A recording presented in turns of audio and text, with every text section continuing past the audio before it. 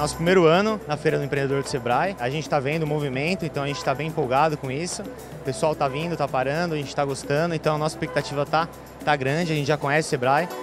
Aqui a gente está apresentando a nossa bike, que é a nossa unidade móvel da Cookenice. A gente agora está saindo das unidades fixas e indo para as unidades móveis.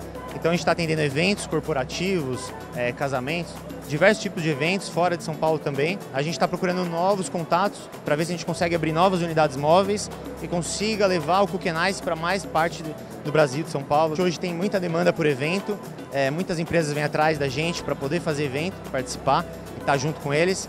Então a gente precisa de novos parceiros, novos franqueados para poder estar tá jogando nesses eventos e poder fazer um trabalho legal é, e poder atender as empresas.